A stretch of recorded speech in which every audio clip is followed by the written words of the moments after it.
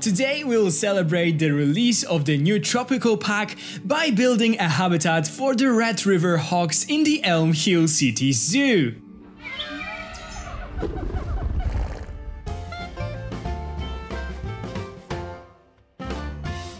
Hello guys, this is Cesar Creates and welcome back to my channel. It is time for a very exciting episode of the Elm Hill City Zoo because today we'll add the first animal from the newest tropical pack to our zoo and this is the Red River Hog. It actually took me some time to figure out which animal from this new pack I wanted to add to our zoo first, uh, but after recording my video that is already out on my channel, uh, so this is the overview of the pack of the new animals and all the new building pieces and so on, and after taking a close look at all of those animals, I just felt deeply in love with the Red River Hog. I think that this is my favorite animal of the new pack, so I just had to build for it first. But before we'll talk more about this enclosure, about my inspiration and about the Red River Hog itself, let's just briefly talk about the new pack, about the new update and everything that is going on right now because uh, of course this is the DLC time, it is a very exciting time as always for Planet Zoo community. So let's dive right into it. First of all, thank you so much Frontier if some of you are watching uh, for providing me with an early access to this new pack. Uh, this always means the world that I am able to, you know, pre-record those videos so you can see what the pack is really about, what are the new animals, what are the new building pieces and stuff like that. And also uh, I was able to build this enclosure to give you some inspiration for your river hog enclosures uh, when you will download the pack tomorrow because the official premiere for the tropical pack is tomorrow uh, for everyone to download and to you know get to it to enjoy it because I think it's totally amazing. Of course it is tomorrow if you are watching this video on the day of its release uh, but yeah thanks to Frontier I am able to pre-record those videos and publish them the day before so uh, this is always super super exciting and a lot of work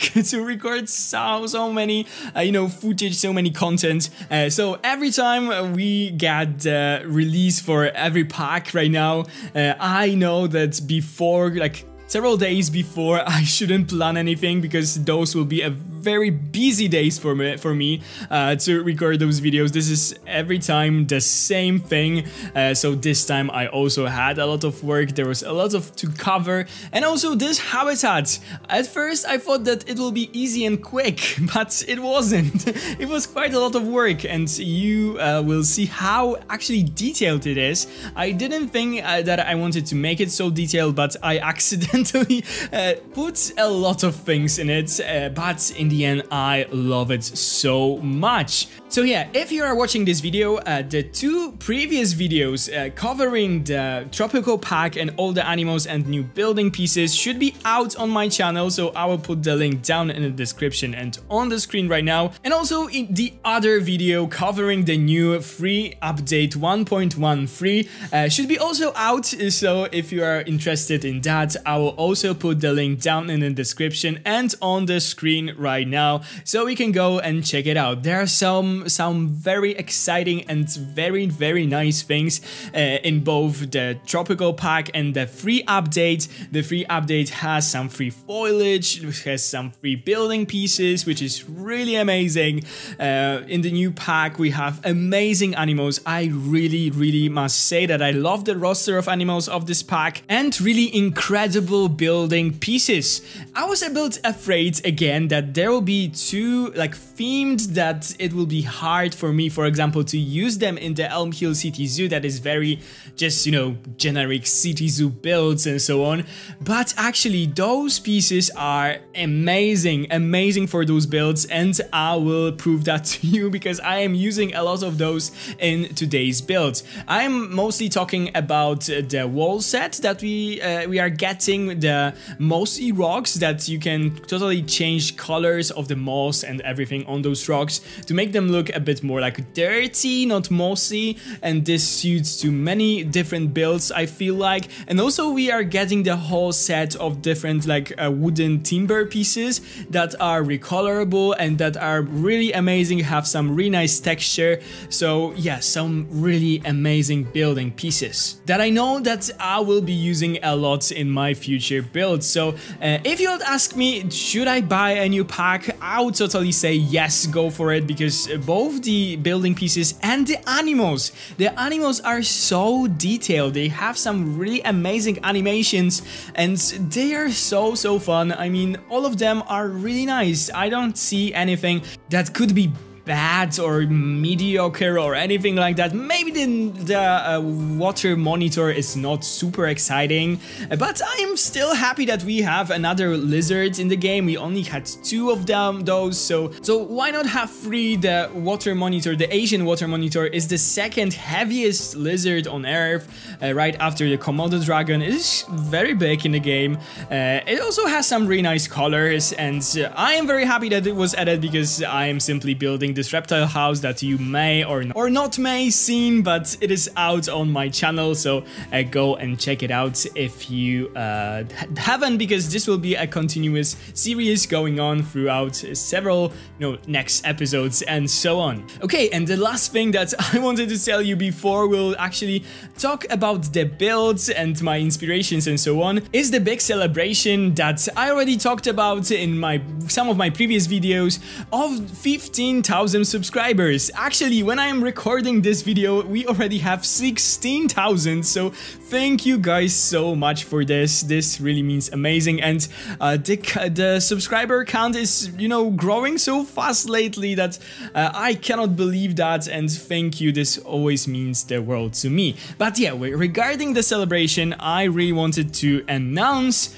uh, that you have to have your eyes open tomorrow on all my my social media and we'll have something huge, something major, something never done before on my channel. So I hope you guys are as excited as I am. Uh, keep your eyes open on my, you know, social media accounts because I will be just putting some teasers out there tomorrow and then I will do uh, a big like uh, announcement there uh, what will actually happen when it comes to my celebration of 15,000 subscribers.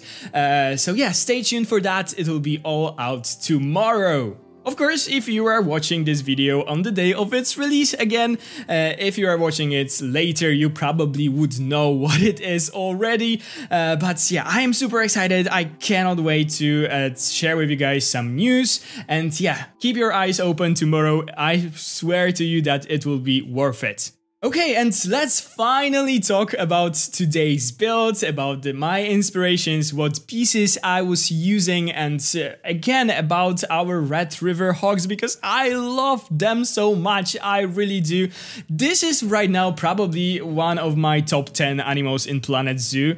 Uh, I also really like the Fossa from the new pack, and I also like the Lar Gibbon. I think that they are amazing, I don't mind that this is another Gibbon. I think that the Lar Gibbons because of their color variations, uh, because of their sounds and the brachiation on the uh, vines and on those uh, smaller poles because they can also do it right now.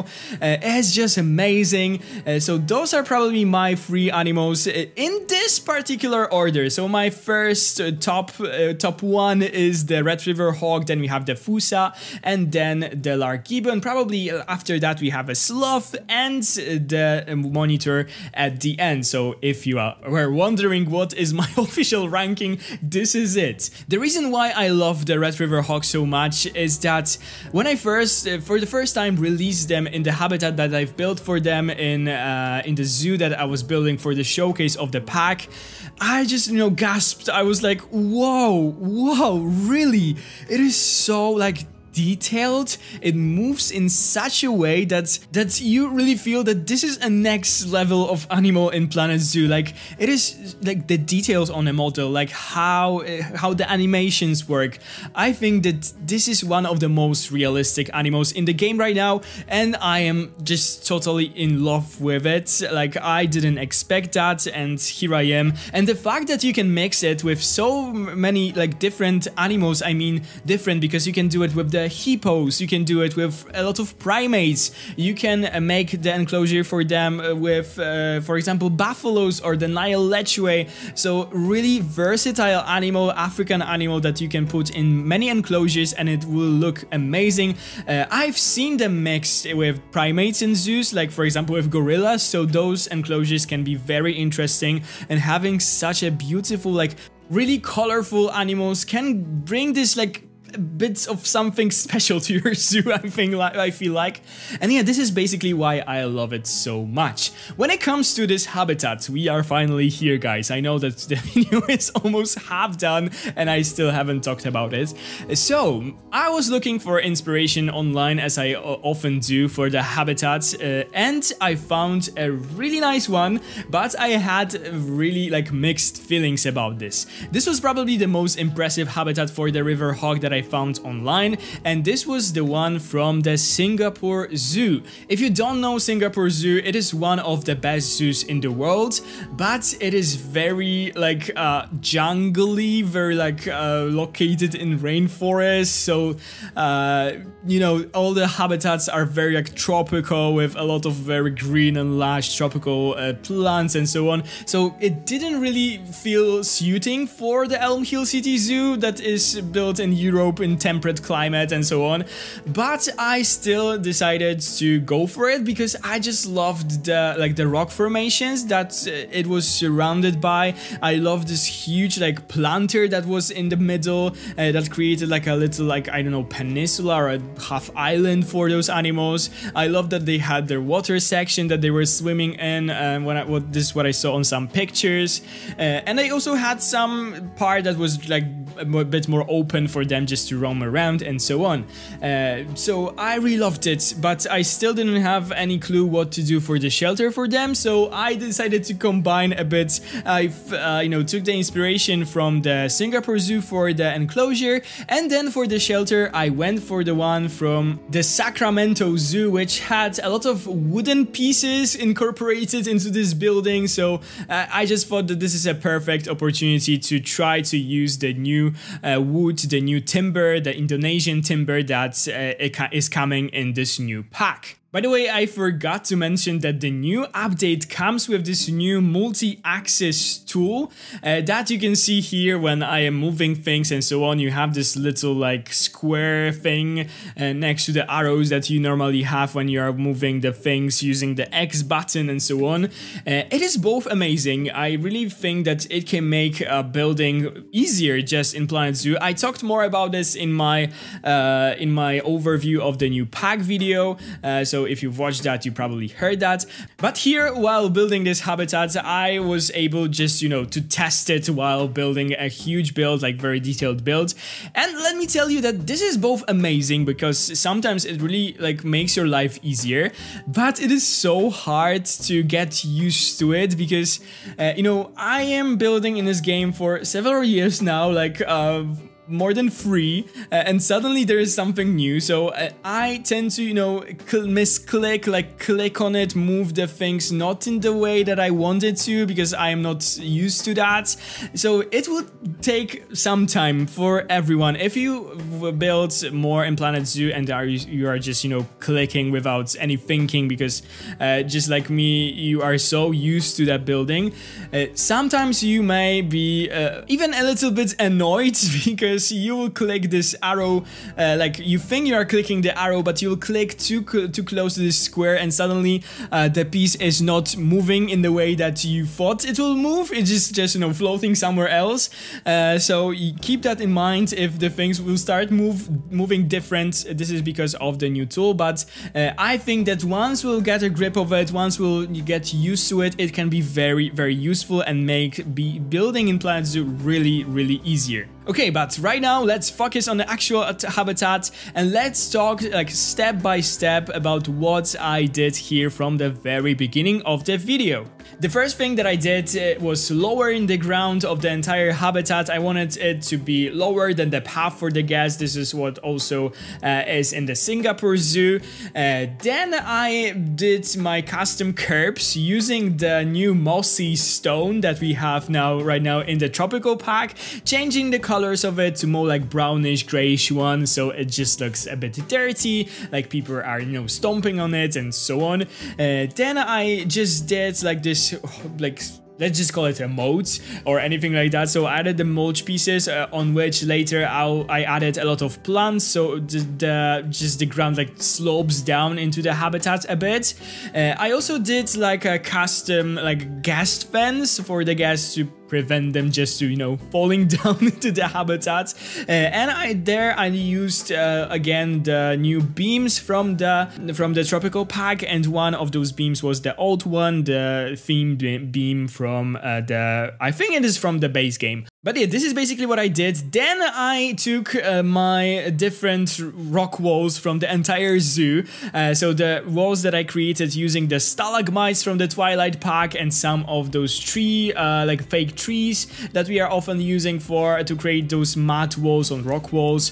Uh, and I uh, did like a whole parameter of the habitats using uh, those those different rock walls. I also changed the colors of them into more like uh, brown color to make it look more like actual, I don't know, landslide or some little cliffs or anything like that. And I also added the water to this habitat and I added a lot of plants around it. This is basically because uh, all of the Red River hogs and pig habitats in general, there are really like empty plain and there are zero plants in them. This is because the pigs just simply eat everything. Uh, they destroy the habitats, they just, you know, dig with their snouts in the ground and, you know, the plants have very hard time growing in, their, in those habitats. So so I wanted to make it still a bit more lush, a bit more green. Uh, so I had to put the plants on the in the places where the hogs won't be able to reach them. So I did this whole big planter in the middle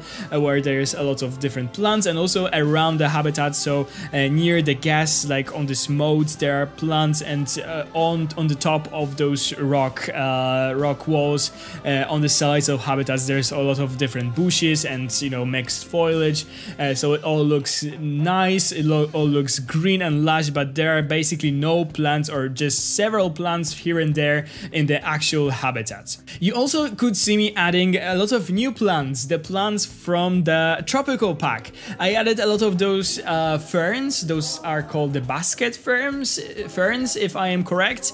Uh, I really love them. Uh, I think that we can still use them in temperate biomes. I mean, I have very si similar ferns in my local forests as far as I am concerned. I had some second thoughts about using them. I will also uh, add some of those uh, newer palm trees. I don't know, maybe it looks a bit too tropical, but I really love the look of it. I think that we can, you know, just sometimes sneak in some other, you know, uh, kinds of plants to the habitats to make them look a bit unique. Uh, not, you know, being too realistic all of this time. I just loved how it looked uh, and this is why I decided to go for a bit more like tropical plants in this habitat. By the way, this habitat is located in the African section of our zoo, opposite to the wildebeest habitat that we've built last time. Of course, the Red River hogs love the mud bath, so I had to give it to them.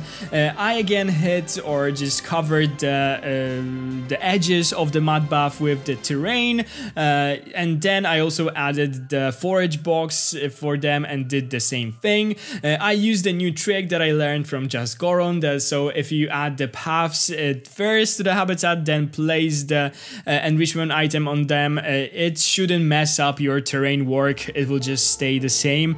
Uh, so this is really useful when you first did the, you know, the terrain, the terraforming and so on, and then you want to add your enrichment items. After adding the enrichment, it was time to add a lot of details to this habitat. So uh, the original habitat in Singapore Zoo, it had a lot of logs, a lot of branches in there and so on. So this was really something that I loved. And we also got those new uh, like vines or anything like that, like those very like uh, twisted branches in this new pack. Uh, so I really wanted to use them. Uh, so I used a mixture of the dead trees that I normally use and those new uh, branches and I think it looks amazing. I also added of course my traditional small rocks and some little plants here and there just you know for some details. I didn't want to go too crazy with them but I thought that somewhere I can just sneak them in uh, and of course I added a lot of decals on the ground uh, for some added texture so it all looks a bit better. And I also added this little fence that uh, I took from Singapore Zoo again. Uh, it is used in the areas where uh, there's no like this moat of water in there. There's just, you know, this lower, uh, I don't know, rock formation that possibly the hogs would be able, I, I don't know, to climb or to jump on. So just to be 100% sure that they wouldn't escape, I added those, you know, small fences. Of course, I didn't have to do it because they couldn't climb it in the game, but uh, this is just for some added realism. And then it was time to build the shelter. Again, the shelter is inspired by the Sacramento Zoo from USA. Uh, it was really like easy. Uh, it looks a bit like some of the shelters that we already had in the zoo, so I thought it made sense to use something like that. I use, I did those individual like uh, entrances for the pigs, those small like a little hole for them to go to their uh, to their stalls. I I think it is really like adorable. I also added those ramps so they can go there. Uh, and this is all again using uh, the new props from the tropical pack. The wood, the ramps are also made from this mossy stone. So I really love the new building pieces as I told you guys. I also knew that those are probably more like dirty animals. There's a lot of mud and so on. So I tried to make it a bit more like dirty. I used a lot of decals.